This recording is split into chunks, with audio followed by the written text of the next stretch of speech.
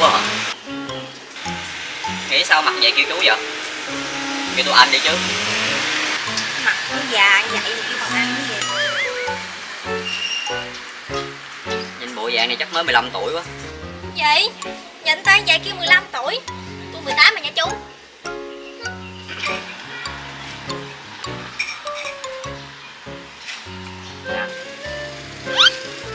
Kêu anh đi tôi bán cho kỳ vậy chú? Chú chú chú hoài. Bộ mặt tôi già lắm hay gì? Giờ kêu anh không? Không kêu anh. Tôi bán luôn. Vậy thôi tôi đi chỗ khác mua. Chứ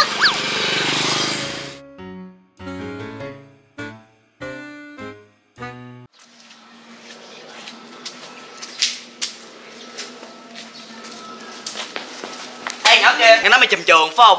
Ở đâu ra mấy thằng không phải đâu mấy anh ơi em học sinh bình thường à không có tầm trường gì hết trơn á. Gì Nói dối ai vậy? Em bị phạt nha. Phạt em tối nay đi chơi từ anh rồi từ anh đưa em về nhà.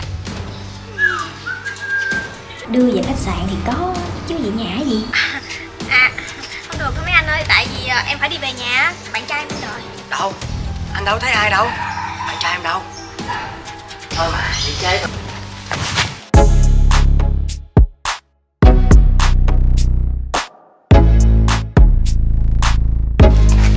trai của cô ấy nè. Mày muốn gì? Muốn, muốn gì đâu mới ngu vậy không? Có bao giỡn thôi. Giỡn thôi chạy nè.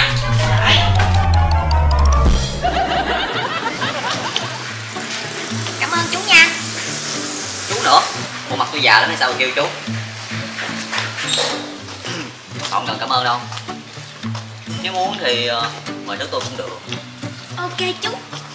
Cho số điện thoại đi. Ủa tự nhiên xin số điện thoại chi thì lấy số điện thoại mới gọi đi uống nước được chứ. Tính trốn tôi gì ờ ha. Rồi nè.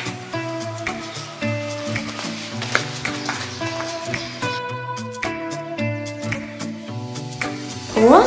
Cái cặp mình đâu rồi ta? Ý Hình như ông chú ông đeo rồi. Xin số điện thoại gái mà chơi lớn vậy anh trai? Xin số tụi em đâu có tốn tiền vậy? Hỏi đứa xị